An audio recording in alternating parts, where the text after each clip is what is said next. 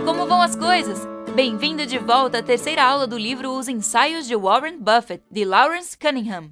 Na aula passada, focamos nos princípios básicos do mercado financeiro, fundamentais para a compreensão das estratégias citadas no livro. Hoje, vamos mergulhar nas ideias que fizeram de Buffett um dos maiores investidores de todos os tempos. Vamos lá?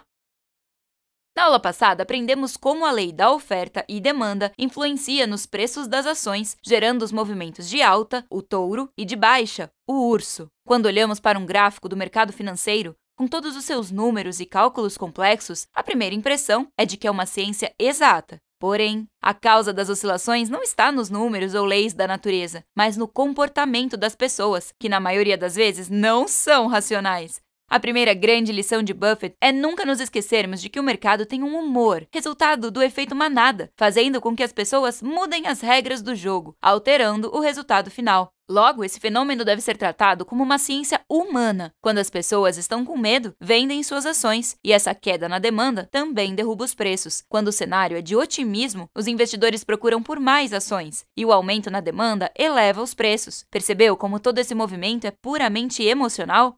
O principal conselho de Warren Buffett para lidar com o humor dos mercados é ir na contramão do efeito manada. Quando todos estão pessimistas, a queda nos preços vai criar uma grande oportunidade de comprar ações na baixa. Logo, você deve ser otimista. No entanto, quando as pessoas estiverem otimistas, as ações ficarão caras, pedindo cautela. Ao comprar na baixa e vender na alta, você está indo na contramão do mercado. Essa, geralmente, é a atitude mais inteligente.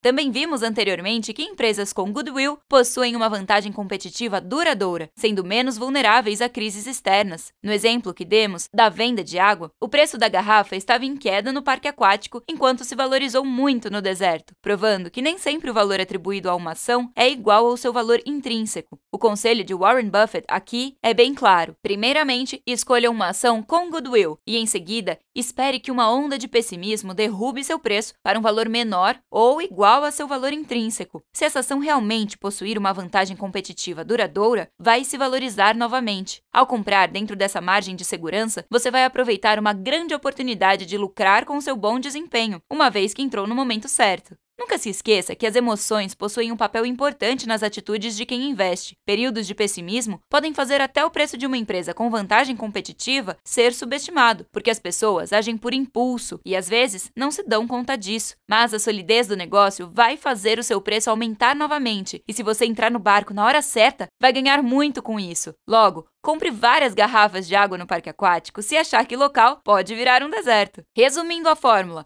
Compre ações de empresas com goodwill em períodos em que a queda no seu preço fizer com que sua cotação fique menor ou igual ao seu valor intrínseco, visando uma valorização futura, mais provável nesses tipos de negócio.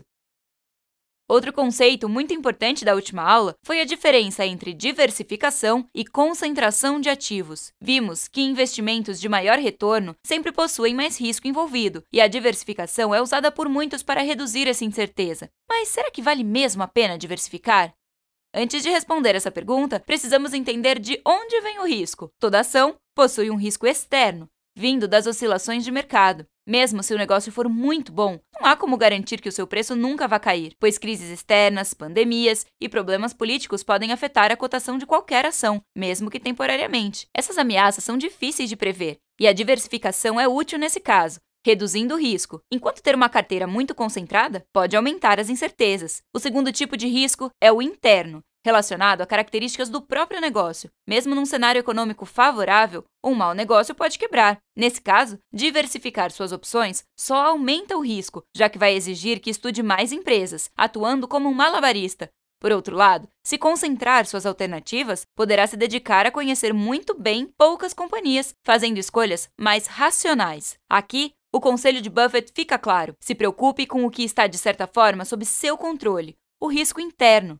Se estudar uma companhia a fundo, pode descobrir se existe ali uma vantagem competitiva duradoura. Com relação aos riscos externos, não há nada que possamos fazer para prevê-los. Isso torna a análise interna muito mais importante, revelando a estratégia de uma carteira concentrada como a mais inteligente. Uma carteira mais diversificada exige um baixo conhecimento em cada empresa, te deixando vulnerável a crises. Por isso, os investidores que atuam dessa forma possuem uma perspectiva de curto prazo, ficando atentos a qualquer movimento para comprar ou vender, o que exige uma grande dedicação de tempo. Por outro lado, ao optar pela estratégia de Buffett, você precisará conhecer melhor cada negócio que entra, visando o longo prazo e dedicando maior tempo no começo, quando estiver analisando as alternativas, e menor depois, já que não ficará comprando e vendendo o tempo todo. Como Buffett costuma dizer, é melhor estar correto algumas vezes do que errado uma porção delas. A melhor estratégia para reduzir o risco é conhecer, não diversificar. Obviamente, a Berkshire tem tanto capital disponível que, apesar de estudar cada negócio, acaba possuindo uma carteira diversificada mesmo assim.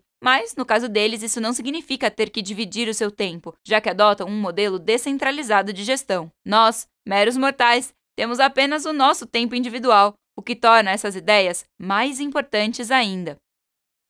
Para fechar com chave de ouro, vamos relembrar o quadro que compara a diferença entre a análise gráfica e a fundamentalista. Bom, depois do que acabamos de explicar, fica claro que Warren Buffett é a favor da análise fundamentalista, pois é a estratégia mais adequada para quem quer comprar ações de empresas conhecidas, visando uma valorização de longo prazo com uma carteira concentrada, onde o investidor está olhando mais para os riscos internos da empresa do que para os de mercado, que não podem ser previstos nem controlados. Para ele, Jamais deveríamos entrar na bolsa de valores como se estivéssemos apostando num cassino, mas sim encarar cada ativo como a compra de uma fazenda, sempre olhando para um futuro distante. Isso torna a análise fundamentalista muito mais coerente com o seu estilo de investir. Hoje mergulhamos nas ideias que fizeram de Buffett um dos maiores investidores de todos os tempos. Na aula 4, vamos detalhar o seu lado empreendedor, conhecendo a forma como gerencia a Berkshire Hathaway. Nos vemos na próxima aula. Bons estudos!